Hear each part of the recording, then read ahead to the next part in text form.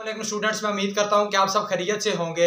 आज हम आपके लिए एक और पार्ट ले आए ट्रांसलेशन का, जिसमें हम इंग्लिश टू उर्दू ट्रांसलेट करेंगे ताकि वर्ड्स आपके लिए और ज़्यादा आसान हो जाए। तो सबसे पहले हदीस मुबारक हज़रत इब्न अब्बास रज़ी अल्लाह तह से रिवायत है कि हजूर पाक सल्लल्लाहु अलैहि वसल्लम ने इरशाद फरमाया कि जो शख्स यतीम को अपने खाने पीने में शरीक करेगा, अल्लाह पाक इस पर जन्नत वाजिब कर देगा। तो आए इसके बाद हम लोग अल्फाज को देखते हैं। जो हमारे पास सबसे पहला लफज है, इसका ये है बलूनिस्ट जिसका मतलब होता है गुबारची मतलब गुब्बारे भरने वाला। जो गैसी गुब्बारे वगैरह भर के देता है, उसको बोलते हैं गुबारची।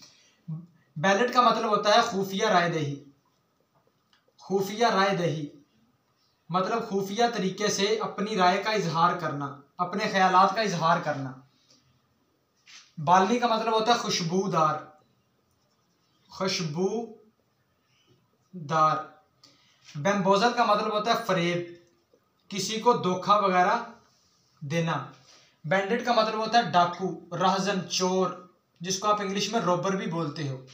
बैन का मतलब होता है आप लोगों के पास जहर। बैंडेड का मतलब होता है आप लोगों के पास जंगला। ये कौन सा जंगला है? वो जंगला जिस कटहरे के अंदर मुलजिम वगैरह खड़ा होता है, जब वो पेशी पे आता है, अदालत के अंदर, जज के सामने खड़ा होता है, जिस जंगले के अंदर। बैंक रोलर का मतलब है लखपति। और करोड़पति क्या होगा? मिलीनियर। और अरबपति क्या होगा? बिलीनियर। तो ये थे हमारे कुछ अल्फाज, इनको आप लोग देख लें।